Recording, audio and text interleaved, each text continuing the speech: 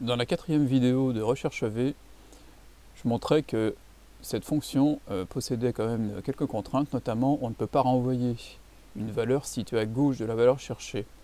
Exemple ici, si on prend un prénom, on ne pourra jamais trouver le nom correspondant avec recherche V. Hein, euh, le test a été fait ici. par exemple Karl. Donc ici, Karl, on ne peut pas avoir son nom, simplement parce que pour recherche V, la valeur cherchée débute, elle début, euh, disons, donc, euh, du tableau matrice. Donc c'est la première colonne du tableau matrice. Donc le problème, c'est que dans certaines bases de données, on a besoin de se situer à gauche. Et donc on va utiliser euh, deux autres fonctions, qui sont index et equive. Alors je vais refaire ici, je vais faire un copier-coller de la liste déroulante.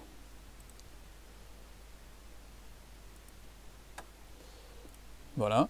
Et je vais tenter de retrouver donc le nom de Karl grâce à euh, index et avec equive.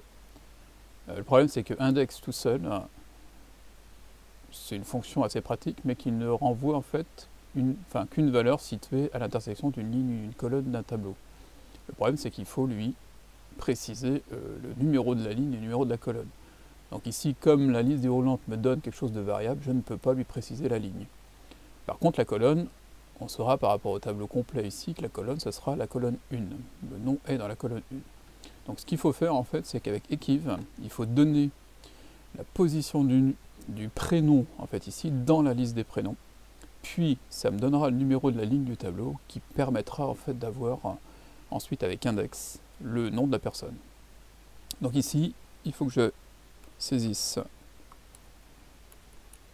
la fonction equive. Alors elle ressemble un petit peu au niveau de la syntaxe hein, à la fonction euh, recherche V. Hein, on a la valeur cherchée, le tableau de recherche et le type hein, qui dans recherche V s'appelle valeur proche ou valeur exacte. Euh, il manque bien sûr ici donc par rapport à recherche V euh, le numéro de la colonne, puisque là en fait on ne va utiliser qu'une seule colonne. En fait on va utiliser et qui va nous renvoyer juste, la, comme je disais tout à l'heure, la position de l'élément dans la liste.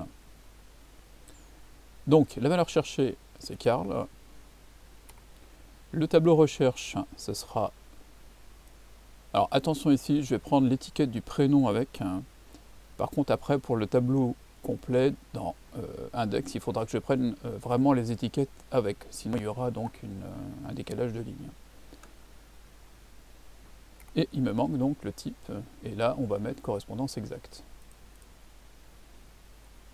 Voilà, donc là normalement il devrait me renvoyer le chiffre 2, voilà, puisque Karl est bien en deuxième position dans cette liste-là.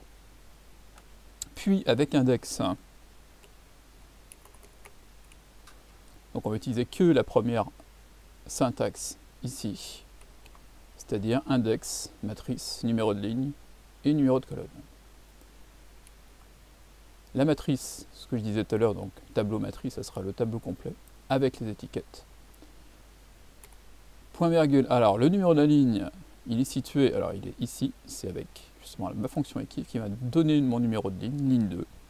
Par contre, numéro de colonne, je veux lire les noms, donc ce sera la colonne 1. Voilà, donc en fait ici le numéro de ligne est variable, ce qui va me renvoyer.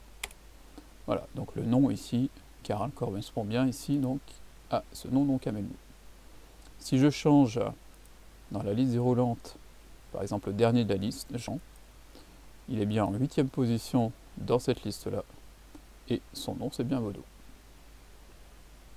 Donc voilà pour euh, un exemple simple ici, une utilisation donc de conjointement hein, des fonctions donc équive puis index pour récupérer en fait une valeur qui serait située à gauche d'une valeur cherchée. Dans une prochaine vidéo, je vous montrerai comment on peut également donc faire varier le numéro de la colonne. Par exemple, dans un tableau à double entrée, récupérer en fait un élément à l'intersection d'une ligne et d'une colonne.